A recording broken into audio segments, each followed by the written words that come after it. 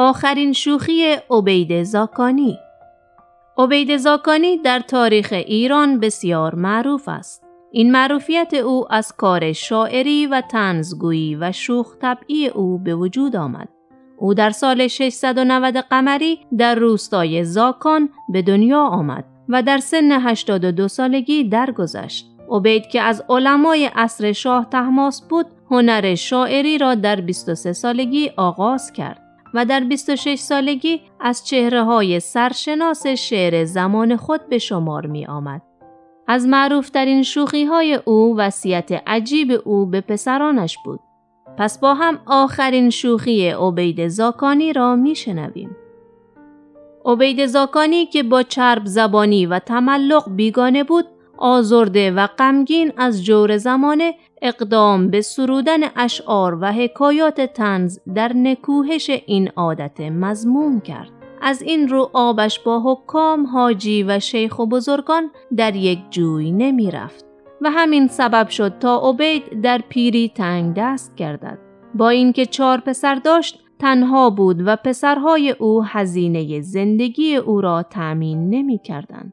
عبید روزی تدبیری اندیشید و هر یک از پسرانش را جداگانه به حضور خود طلبید و در خفا به آنها گفت من خاطر تو را از برادرانت بیشتر می خواهم. وصیتی دارم که نمی خواهم به برادرانت بگویی و آن وصیت این است که عمری را تلاش کردم و اندوخته ای را به دست آوردم. هیچ کدام از پسرانم جز تو شایستگی ارث بردن از آن را ندارند.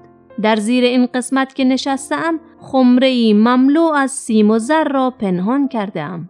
بعد از مرگ من بدون اطلاع برادرانت آن را از زیر زمین درآور و اندکی از آن را به نیت من در راه خدا و خیر صرف کن و بقیه را برای خودت نگه دار. عبید به این ترتیب هر چهار پسرش را جداگانه پیش خود خواند و همین وصیت را تکرار کرد. از آن روز به بعد پسران هرچه به دست می آوردن جداگانه و دزدکی پیش پدر می بردن تا رضایت و خوشنودی پدر را جلب کنند. عبید نیز با آسایش خیال کمک های پسران را خرج کرد و پایان عمرش را با خوشی گذراند تا اینکه عمر عبید به سر رسید و بالاخره روزی وفات کرد. بعد از مرگ پدر پسران در پی فرصتی بودند تا خمره را درآورند تا اینکه یکی از پسران پیش قدم شد و فرصتی یافت و مشغول کندن خاک گردید.